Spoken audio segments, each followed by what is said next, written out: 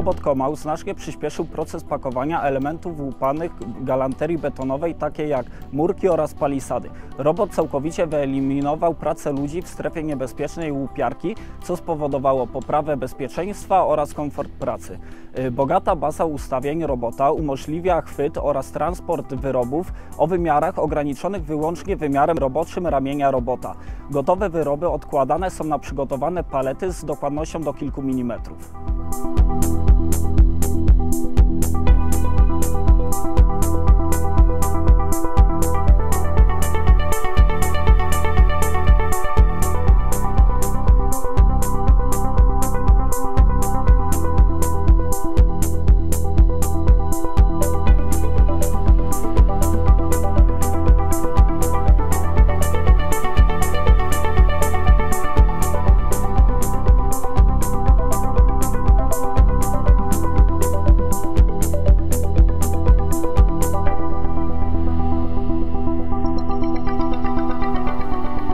Firma ZPB Kaczmarek poprosiła nas o przygotowanie zrobotyzowanego stanowiska paletyzacji bloczków betonowych. Z uwagi na różnorodność produkowanego asortymentu zaprojektowaliśmy i dostarczyliśmy dwa chwytaki umożliwiające paletyzację bloczków różnego typu.